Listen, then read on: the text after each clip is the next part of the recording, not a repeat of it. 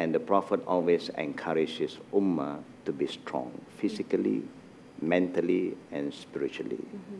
So it's a well balanced uh, kind of uh, tradition from the Prophet. Looking at what the hadith that the Prophet said, Al mu'min qawiyun khairun wa habba ilallah min al mu'minina da'if. A strong, healthy Muslim is most beloved by Allah than just a Muslim who is not active. And when the Prophet said, uh, a strong Muslim, meaning physically they must be fit and strong. Now, how do you develop your physical strength? That's why Islam always reminds us to be beneficial to ourselves and we can bring benefit to others. Did you like this episode? Well, if you did and you want to watch it again, you can click here right now. And if you're not subscribed to DOPS TV, please subscribe to us now.